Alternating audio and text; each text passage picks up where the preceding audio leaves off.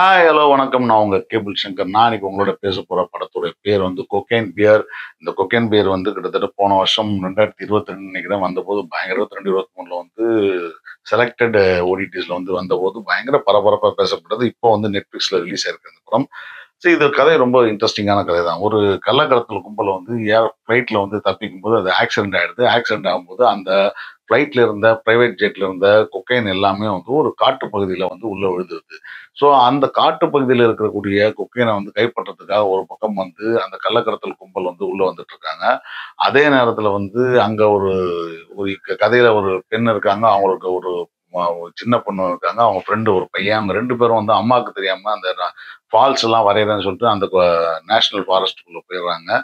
அது அது அது அதில் இன்னொரு பக்கத்தில் பார்த்தீங்கன்னா ஒரு போலீஸ்காரர் வந்து அதுக்குள்ள விசாரணைக்கு வராது ஸோ இந்த மாதிரி கதைகள் என்ன நடக்கும் அப்படின்றதுனா இந்த மாதிரி ஏதாவது கடையில் வந்து ஒரு பெரிய மிருகம் இருக்கும். அந்த மிருகம் வந்து பயங்கரமாக சரக்கு சரக்கு எங்கேயாவது பயங்கரமாக பயந்து ஓடி ஒருத்தன கால் கையா கை தனியாக துண்டு துண்டாக பிச்சு போடும்.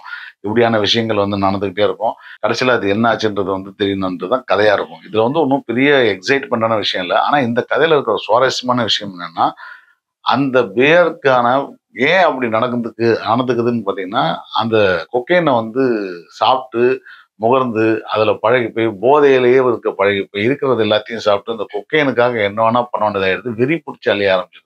ஸோ இதுதான் வந்து இந்த கதையில் இருக்கிற சுவாரஸ்யமான விஷயம். ஒரு சில காட்சிகளில் வந்து ஆஹ், ஆட்களை கை காலெல்லாம் துண்டு துண்டாக வெட்டி போகிறதெல்லாம் வந்து ரொம்ப ரியலிஸ்டிக்காக இருந்தாலும் கூட அது சில சமயம் பல சமயத்தில் இந்த சீன்கள் பார்க்கும்போது காமெடியாக இருக்குது அது காமெடியாகவே ஃபீல் பண்ணிட்டு தான் வச்சுருக்காங்க. அது காமெடி ஒர்க் அவுட் ஆகும் சில இடத்துல. பட் அதே நேரத்தில் இந்த சீரீஸ்லாம் பார்த்தா அமெரிக்க படங்கள்லாம் பார்த்தீங்கன்னா கண்டிப்பாக உங்களுக்கு எல்லாம் தெரிஞ்சிருக்கும். ஒரு டைனாசரோ ஒரு எலியோ ஒரு பூனையோ பாம்போ ஏதோ ஒன்று மனிதர்களை கடிச்சு குடிச்சு ஏதாவது ஒன்று பண்ணிட்டு இருக்கோம். அதை பார்த்து அவங்களும் பயந்துட்டு இருப்பாங்க. அந்த மாதிரியான படங்களுக்கு என்னென்னலாம் டெம்ப்ளேட் இருக்கோ அத்தனை டெம்ப்ளேட்டும் இந்த படத்தில் இருக்குது ஏன்னா இந்த மாதிரி படங்கள்ல என்னென்ன ஆகும்னா ஒரு வயசான ஒரு ஆள் மாட்டிப்பார்.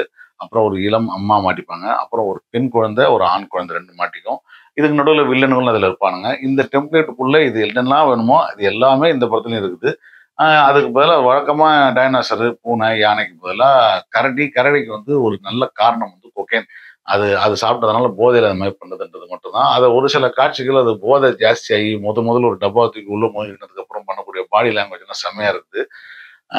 இந்த மாதிரி நிறைய விஷயங்கள் சின்ன சின்னதாக அங்கங்கே சுவாரஸ்யமா இருந்தாலும் இது ஒரு டெம்ப்ளேட் படம் தான் ஆனால் ரொம்ப சின்ன பட்ஜெட்டில் எடுக்கப்பட்டு கிட்டத்தட்ட முப்பது நாற்பது மில்லியன் எடுக்கப்பட்டு கிட்டத்தட்ட தொண்ணூறு மில்லியனுக்கு மேலே இந்த படம் சம்பாதிச்சு தான் சொல்கிறாங்க அந்த பீரியடில் ஸோ இந்த உலகம் முழுக்கவே இந்த மாதிரியான விஷயங்களுக்கான படங்களுக்கு வந்து மிகப்பெரிய வரவேற்பு இருக்குது அதனால் நம்மளும் பாருங்க அதை வந்தவொடனே பார்த்துட்டோம். ஒரு விஷயம் என்னன்னா இந்த கொக்கைன் இந்த மாதிரி காட்டில் விழுந்ததும் கரடி சாப்பிட்டதும் உண்மையான நிகழ்வு அடிப்படையாக இருக்குதுன்னு சொல்லியிருக்காங்க. அதை பற்றி டீட்டெயிலாக விசாரிச்சு தான் தெரியும். இந்த படம் நீங்கள் என்டர்டைன்மெண்ட்டாக நீங்கள் பார்க்கணும்னு நினச்சினா நெட்ஃப்ளிக்ஸில் இருக்குது பார்த்துட்டு உங்கள் கருத்து சொல்லுங்கள் நன்றி வணக்கம்.